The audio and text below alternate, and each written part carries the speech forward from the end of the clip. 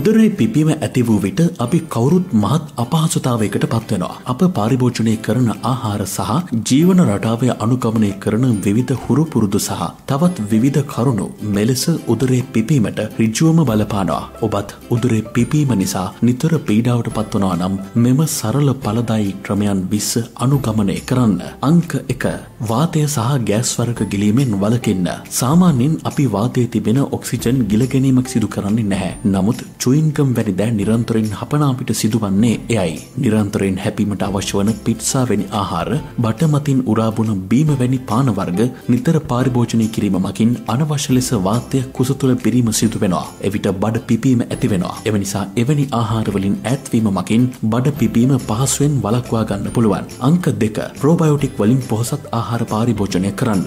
ප්‍රෝබයෝටික් තුළ අන්තර්ගත වන හිතකර බැක්ටීරියාවන් මකින් ආහාර ජීර්ණ ක්‍රියාවලියට අමතර උත්තේජනයක් ලැබීම සිදුවෙනවා. ආහාර ජීර්ණ ක්‍රියාවලිය යහපත් අයුරින් සිදුවන විට බඩ පිපුම වැනි තත්ත්වයක් ඇතිවන්නේ නෑ. යෝගට් වැනි ආහාර තුළ ප්‍රෝබයෝටික් යහමින් අඩංගු වෙනවා. ඔබත් බඩ පිපුම නිසා නිතර නිතර පීඩා විඳිනවා නම් ප්‍රෝබයෝටික් වලින් පොහොසත් ආහාර පාරිභෝජනය කිරීම මකින් ඉක්මන් සහනයක් සලසා ගන්නට පුළුවන්. අංක තුන එක් ආහාර වේලක් තුළදී අධික ලෙස ආහාර ගැනීම සීමා කරන්න. ආහාරයට ගනු ලබන ආහාර ප්‍රමාණය අනුවත් බඩ පිපීමේ තත්ත්වය ඇතිවෙනවා. වැඩි වශයෙන් ආහාර ගන්නා විට ආහාර කොටස් ගිලීමේ වාර ගණන වැඩිවන නිසා වාතයේ වැඩි වශයෙන් මුඛය හරහා උදරය තුළට ගමන් කර බඩ පිපීමේ තත්ත්වය ඇතිවෙනවා. එම නිසා කොතරම් සෞඛ්‍යයට හිතකර ආහාරයක්වත් එක් ආහාර වේලකදී ඒවා අධිකව අනුභව කිරීම සුදුසු වන්නේ නෑ. අංක හතර උදරේ ගෑස් ඇති කරන ආහාර වලින් ඈත්වන්න. අනුභව කිරීමෙන් අනතුරුව කිසිදු ආකාරයක අමර්ෂයකට ලක් නොවන සමහර ආහාර සුළු ප්‍රමාණවලින් ගත්තත් බඩ පිපුම ඇතිවන අවස්ථා තිබෙනවා. අධික තන්තු ප්‍රමාණයක් අඩංගුවන කෙසෙල්, මිදි බෙරි වර්ග සහ රනිල කුලයේ පළතුරු ඒවාට උදාහරණ ලෙස පෙන්වා දෙන්න පුළුවන්. සමහර පුද්ගලන්ට මෙවැනි ආහාර සුළු වශයෙන් පාරිභෝජනය කිරීම මගින් පවා බඩ පිපීම ඇතිවෙනවා. බඩ පිපීම ඇතිවන තවත් හේතුවක් ලෙස මේදය අධික ආහාර පාරිභෝජනය කිරීම පෙන්වා දෙන්න පුළුවන්. මේදය අධික ආහාර අනුභව කරන විට ශරීරයේ පරිවෘත්තිය ක්‍රියාවලිය මන්දගාමී වී ආහාර ජීර්ණ ක්‍රියාවලිය අකාරක්ෂම වීම නිසයි එලෙස උදරේ පිපීමට ලක් වෙන්නේ. අංක පහ ඔබේ ආහාරවෙලින් ෆුඩ්මැප් අධික ආහාර ඉවත් කරන්න. ෆොඩ්මැප් කියන එකේ තේරුම තමයි ෆර්මෙන්ටබල් ඔලිකෝඩි මොනෑසැකරයිඩ් ඇන් පොලි ඔයිල්ස් කියන්නේ. තේරුණේ නෑ නේද? හරි ප්‍රශ්නයක් නෑ. මේ විදියට තේරුම් ගන්නකෝ. ෆොඩ්මැප්ස් කියන්නේ කෙටි දාම කාබෝහයිඩ්‍රේට් වර්ගයකට ශරීරයට ඇතුළුවන මෙම කාබෝහයිඩ්‍රේට් අවශෝෂණය කරගන්න කුඩා බැඩවලට හරිම අමාරුයි. මෙම නිසා ෆොඩ්මැප් අධික ආහාර පාරිභෝජනය හා බඩ පිපීම අතර ඍජු සම්බන්ධයක් පවතින බව වෛද්‍යවරුන් සඳහන් කරනවා.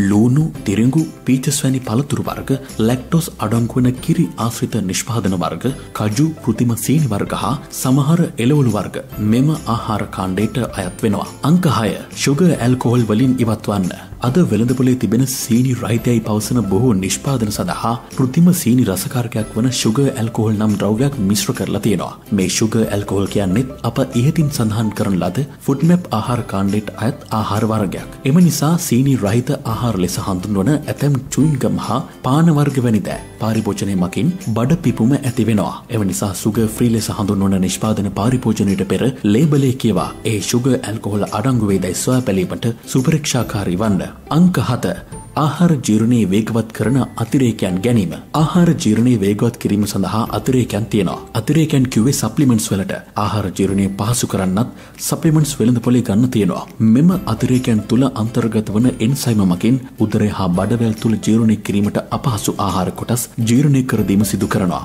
එවිට උදරය තුල අමතර වායුන් එකතු නොවන නිසා බඩ පිපුම වැනි තත්ත්වයක් ඇති වෙන්නේ නැහැ. නමුත් මෙවැනි එන්සයිම අඩංගු වන අතිරේකයන් මිලදී ගන්න කලින් වෛද්‍යවරයෙකුගේ උපදෙස් ලබා ගැනීම අනිවාර්යෙන් සිදු කළ යුතුයි. අංක 8 මලබද්ධය පහ කිරීම මගින් උදරයේ ගෑස් දුරු කිරීම.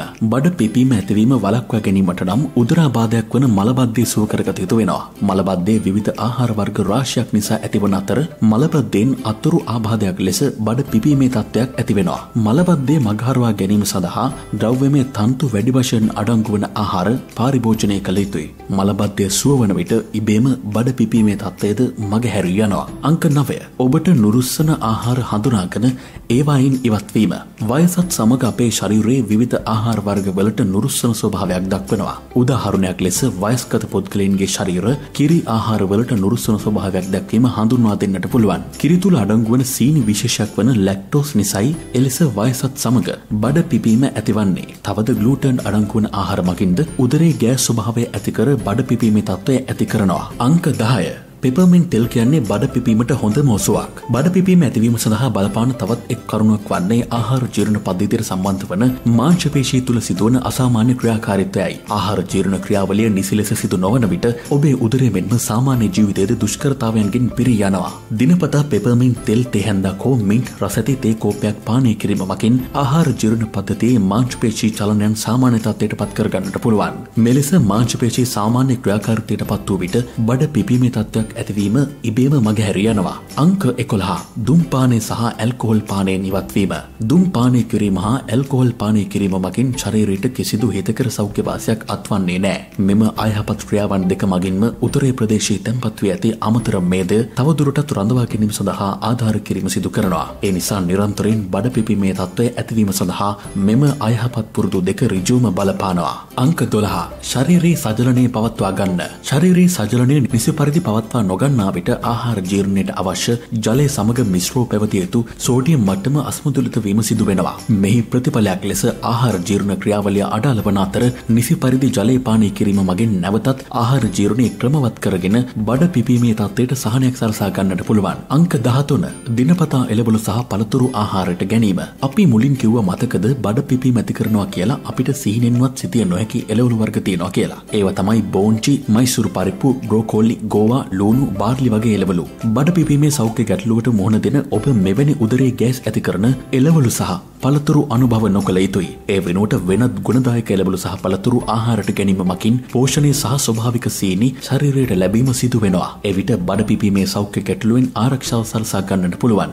විශේෂයෙන්ම සැල්දිරි, මහදුරු, ඉඟුරු, හාතාවාරය, අන්නාසි, ගස්ලබ වැනි ආහාර බඩ පිපීමේ රෝගයට ඉතා හොඳ සුවයක් අත්කර දෙනවා. අංක 14 ව්‍යායාම කිරීම. එදිනදා ජීවිකාව ගත කිරීමේදී ශාරීරික ක්‍රියාකාරකම් වල අඩුවෙන් නිරත වෙනකොට ශරීරයේ පරිපූර්තිය ක්‍රියාවලිය මන්දගාමී වෙනවා. එවිට ආහාර ජීර්ණ ක්‍රියාවලිද ප්‍රමාද වෙනවා.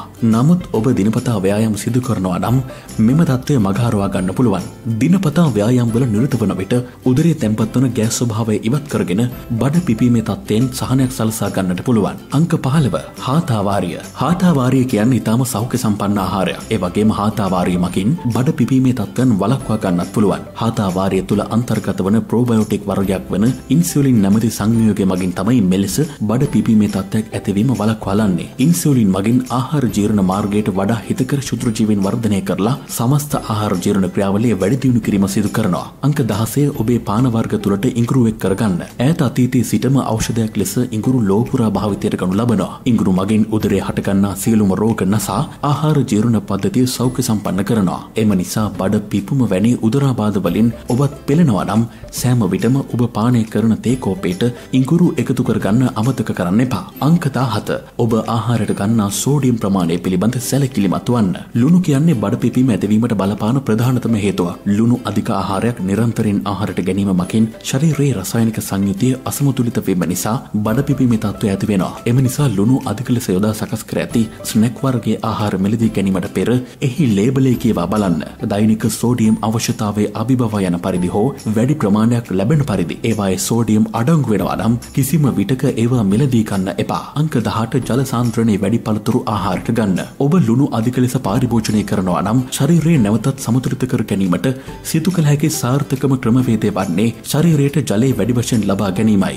ජලය පානය කිරීමට අමතරව ජලය වැඩි වශයෙන් අන්තර්ගත වන කොමඩු දොඩම් සහ ස්ට්‍රෝබෙරි වැනි පළතුරු ආහාරයට ගැනීම මගිනුත් ශරීරයට අවශ්‍ය ජලය ප්‍රමාණය නිසි ලෙස සපයා ගන්නට පුළුවන්. එවිට නැවතත් ඔබට අහිමි වී ගිය ශරීරයේ රසායනික සමතුලිතතාවය ලැබීම නිසා බඩ පිපුම වැනි තත්ත්වයන්ගෙන් බේරී සිටීම කිරීමට පුළුවන්. අංක 10 කීනෝවා ආහාරයට ගන්න. ඔබ අහලා තියනවාද කීනෝවා කියලා ආහාර වර්ගයක් ගැන? කීනෝවා කියන්නේ මිනිස් ශරීරයට අත්‍යවශ්‍ය ඇමයිනෝ අම්ල නමයක්ම අඩංගු වෙන ශාකමය ආහාර වර්ග කීපයෙන් එකක්. ඒ වගේම කීනෝවා තුල ග්ලූටන් අඩංගු නොවන අතර ඉහළ ප්‍රෝටීන් ප්‍රමාණයක්ද අන්තර්ගත වෙනවා. පෝෂණ ගුණයෙන් පොහොසත් කීනෝවා ආහාරයට ගැනීම මගින් බඩ පිපීම ඇතුළු උදරාබාධ රසකට සහනය සලසා ගන්නත් පුළුවන්. ග්ලූටන් රහිත ආහාරයක් වන කීනෝවා මැග්නීසියම් සහ පොටෑසියම් වලින් පොහොසත් වන නිසා උදරය සහ හදවතේ සෞඛ්‍ය සම්පන්න භාවය ඉහළ දැමීම සිදු කරනවා. අංක විස්ස බඩ පිපීම නොනවත්වා ඇතිවෙනවා නම් වෛද්‍ය උපදෙස් ලබා ගන්න.